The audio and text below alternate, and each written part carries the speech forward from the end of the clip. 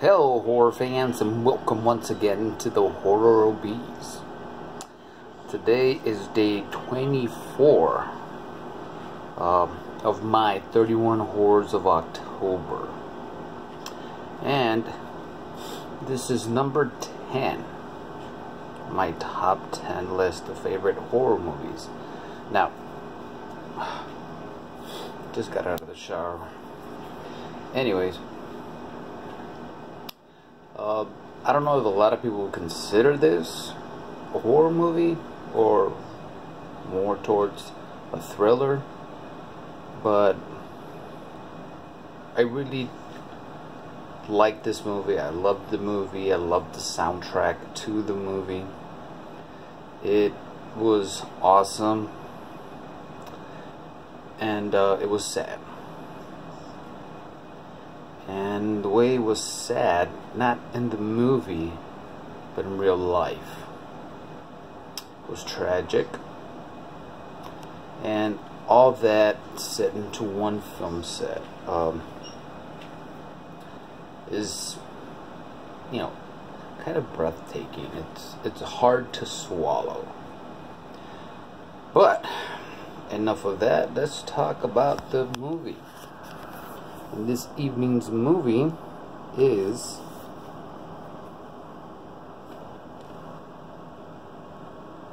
The Crow. Now, since I heard of that they were gonna make uh, the movie The Crow, um, based off of uh, the Crow um, graphic novel by um, Right the top of my head, I can't remember the name of the artist. Um, hmm. Oh, James O'Barr. cheat cheat. Anyways, it's based on his graphic novel above the same name. Now, when I say tragic, well, we all know what happened to Brandon Lee on the set of this movie. Uh, he was tragically and accidentally killed. Um, and that was the sad part. But the movie is great. And all. I mean, it was an incredible performance by Brandon Lee.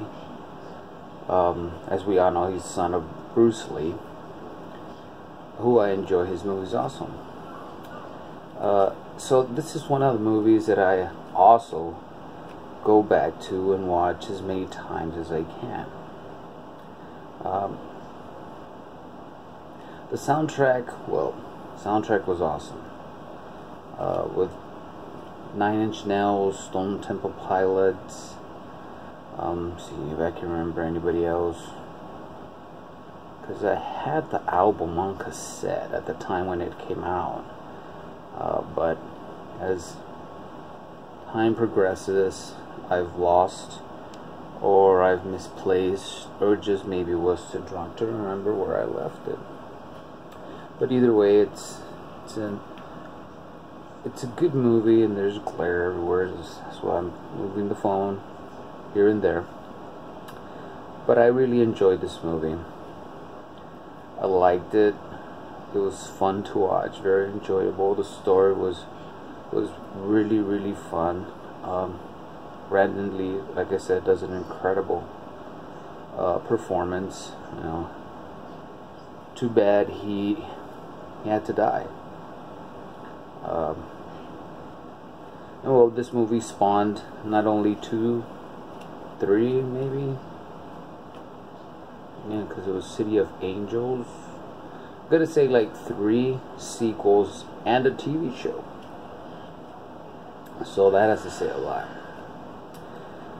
But on that note, this is number 10 on my top 10 list. And it's The Crow. And well, hope you like what you see. Thanks for watching. And if you haven't subscribed to hear more of my shenanigans, and some very horrible reviews. And I will see you tomorrow. well, good night.